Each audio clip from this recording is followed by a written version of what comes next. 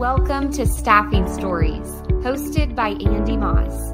Andy has been in the staffing industry for over 25 years, first as a recruiter, then eventually an account manager and business owner.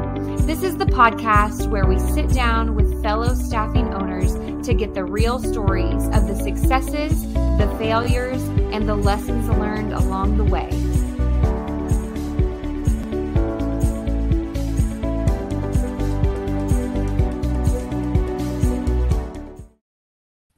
Welcome back to Staffing Stories. Mandy Moss, and I'm in my Christmas red. We're coming into the end of the season, so I want to wish everybody a Merry Christmas, Happy Hanukkah, whatever you're celebrating at the end of this year. Please spend time with your family and remember those around you, and um, try to recharge because next year's coming right around the corner.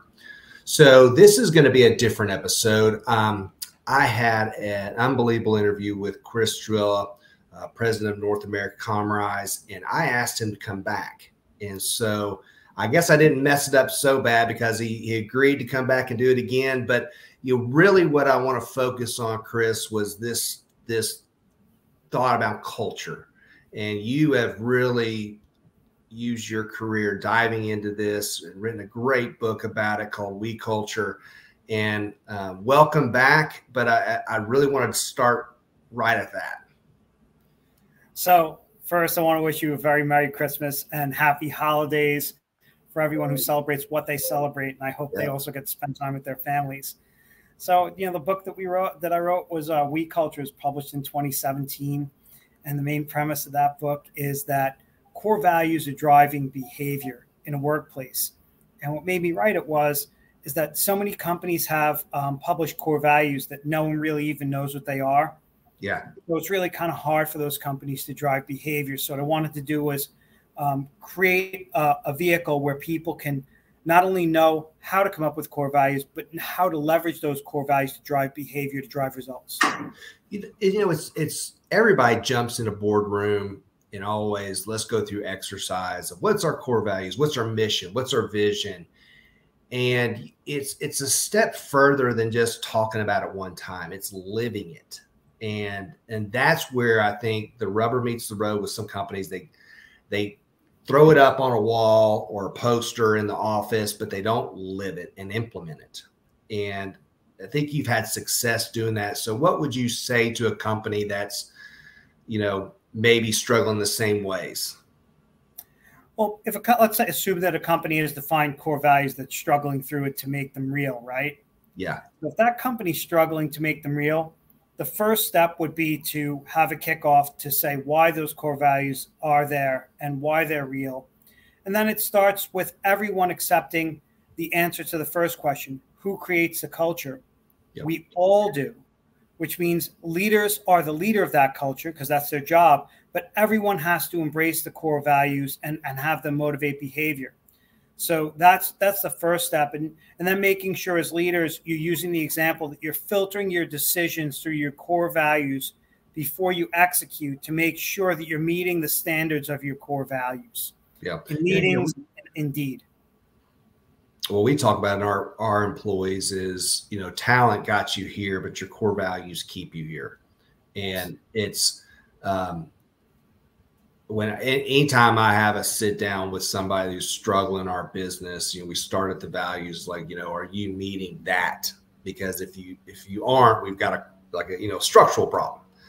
Um, and and and and it we start peeling it back. That's where you usually find the problem. But getting everybody to agree and row in the same direction is our goal as owners and directors of businesses.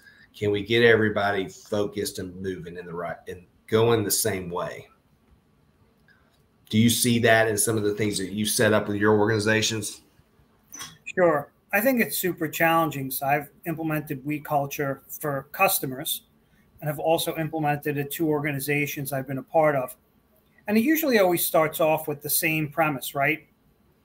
Companies either don't have very well defined core values or they have adverbs or adjectives that describe nothing that are their core values, so not actionable yep. right? And then when you get down to the brass tacks of knowledge at the colleague level, right? How many people can actually articulate what those core values are? That's where the the, that's where the, the loss is because if people don't know what core values, we can't we can't hope to execute on them if you don't know what they are. So that's yeah. the first thing we focus on. And yeah, I find that when you start making them real, you know, the, the real part of it is everybody, it has to start with everyone knowing what they are and believing what they are, being part of uh, selecting what they are. Now, with you being a uh, international company, do you ever run into uh, just cultures are different. You know, the culture in China is different than the U.S. or the Philippines. How did you balance that, or um, was that? A, I mean, what, it may not have been a hurdle. It, you know, if you're not aware of it and embracing that it can be a hurdle, it will be a hurdle. Yeah. So we have we have a way of looking at part of we culture is is that when I go to China, I don't see Chinese people. I see people that just happen to be from China. They're people first. That we all want the same things. We all want to be part of a successful organization. We all want to make a great living. We want to provide for our families. We want to be part of the greater good. We want to be on teams that win, right? Ethical people. You know, 95% of the population is wired this way. So if we embrace that, then the cultural differences can be the fun things we learn about each other, like food, language, um, holiday schedules, you know, and just certain business aspects of how things might be done different can become thoughtful discovery if we embrace that we're all people first. We have more in common with people from other cultures than we don't, and we should embrace what we have in common first. And that's how that really gets we culture going. And you know, I've always loved diversity. I mean, if you the more diverse your organization is, the stronger it is, in my view. You know, um, if you walked into the building building and everybody's the, the, the you know all male under 30 or i mean you're you're it's it's that's not a good spot to be in but if you're male female married not married young old i mean that's where ideas come you know i mean not everybody from the walk same walk of life um, i think that drives a great culture and that's what i strive to do in my business and i think most businesses um, sometimes get in a rut of like this is the type person we hire, and they don't get outside of that. Um, but I mean, it's it's an exercise that I would push people to do is really um, research it, read about it, try to better yourself as I mean, especially as I got older, the way I do business now is definitely not how I did it 15 years ago when I started. Uh, it's just, I mean, you evolve. So, so we have a strength in the U.S. market. It's one of the most diverse places in the world, right? And you're right. We could have a whole bunch of 18 to 22 year olds running the organization if we were a fraternity, right? Yeah. Because that's who we're recruiting. That's our audience. That's our whole yeah. audience, right? But in the corporate world, our audience is all the demographics, is people from all walks of life, gender, race, color, creed, veteran, handicap status. They're all part of it.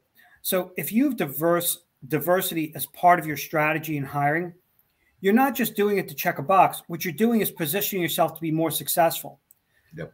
The companies that are more diverse are 30% more successful in their growth, in their hiring trends, and they have lower turnover than companies that are not because of the diversity ideas they, they bring in and because they have easier appeal to the market because of those internal diversity of ideas. And that's that's a proven fact about companies that are successful through diversity. It's not just to check the box; it's about organizational success. And um, I think some people really, um, you know, this whole thing of um, diversity and, and not embracing ideas. It does not mean you can't establish core values in your business, and just because someone is a different race, read, color, sex, can't still abide by the the this foundation of your company's culture. It, it just means you get better ideas, implementation to it. And I, that that that's important to me, and I think it's important to you. And I, I would encourage listeners that are struggling with this is to start looking at that as one of their steps to, you know, identifying issues and problems. But what other tips you would give to somebody? Let's say January one, we get back in the office. Um, and you want to tackle this, what, what where would you start? So let's say someone doesn't have core values established or their core values are stale and no one knows what they are. I would sit down with my team, and this is right out of the book, The How Part. we'd sit down with the team and say, hey, let's create core values for the organization. And this is where you invite diversity in for diverse ideas. And you make them actionable. For example, we have a core value. It's be positive. It's not positive. It's yeah. be positive. It's telling you to take action and have a have a positive outlook on the tasks, the goals, and the things that you do. Right. So we look for people to come up with those core values. And what we do is we think to ourselves, what are some of the things we want to reflect to the market? And everybody makes a list. Then we look at the things that are repeated three or more times and discuss them. The things that are mentioned once. We may look at those be we and then we get down to three or four things that define who we are and how we're going to behave towards the market and also internal in our organization. And that would be the first thing that I would do. And once I had the core values, then I'd have a kickoff, unveil it. I'd get a team slogan. Ours is together we can. Yeah. right. And that would be the first thing I would do come January. I'd have it done by January 31st. I, I think it's just great. But, you know, here's the, the bad side of this. What's let's say you start implementing this and I'm sure you ran into this. Someone's fighting it. You know, they're just they're they're great employee, but they're just fighting this. Uh, what I call they're in the boat, but they're not rowing right. They're they're going against the grain. How, have you faced it? How did you overcome it? Because you know it's coming with somebody. You know, with any organizational change, there are going to be uh, people in the organization at all levels, by the way, that may not be on board. And that's a reality of any change, right? You could change anything anywhere in the world and that will happen. What you want to do is be inviting, be inclusive, and invite those people to participate, discuss it with them, understand where they're coming from, ask them questions, why they, how they feel about the core values. They feel like they're not aligned with their core values. And after you have those discussions, if that person can't come around, it might be best that that person find an organization where their core values are aligned. Yep. We culture was born for me out of a failure where I was part of an organization for eight years where I was not aligned with their core values for how they conduct a business. Very successful organization, but in the end, I could not be successful in the long term because I had to be someone that I was not. Yep. And that's why I left. And that's why I came up with We Culture. It was called Culture of We and then it evolved into we culture. Yeah, and I think with that turnover goes down. If you can like give people like that in, in our business, we we face turnover big time in staffing and recruiting. Um, but I do think that your culture can keep them and also drive them out. And sometimes, like you said, it's not the place for everybody. Uh, but it, that and that's okay. I mean, there is good attrition in some ways. And I just want to see this part through because people hear it's like, hey, it doesn't sound very we if you're inviting people to leave. Yeah. But you're really doing the right thing by individuals. If they're in the wrong place, they know it and they're not happy. And it's hard to make a change in an organization. And if you're having an honest discussion, you're not looking to injure them. As long as they leave, they have a reference, you have a good exit strategy so they can leave with dignity, mm-hmm. right? Let them go. Also, it contributes to retention because people see that the core values are serious and they'll follow them because you are committed to them as leadership.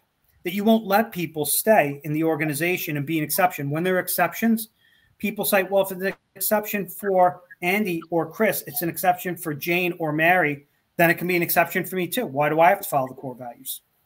You got to, uh, if you set them, you got to start from the top and live by them. Well, this has been great. I, I, really wanted to follow up on that from our first conversation. And this is, there's some unbelievable nuggets there that I know can encourage people going into this new year of 2023 that um, it starts with some of the, I call basics, the culture. And I, that's why I wanted to talk a little bit more with you. So, again, thank you for coming back on for a second time and kind of deep diving, but um, have a wonderful holiday and, uh, and try to rest somewhere in the next week or so. I sure will. I wish you very Merry Christmas, and I wish all the listeners a very happy, safe, and restful holiday with their families. All right. It's good to see you again. Thank you. The Staffing Stories podcast is brought to you by 3DIQ, founded by recruiters for recruiters. 3DIQ's industry leading product suite complements your submission process in Bullhorn from start to finish and helps you deliver a cutting edge customer experience. Triple your placements with our powerful resume submission platform, candidate marketing, and client portal. Visit 3diq.com slash stories to learn more.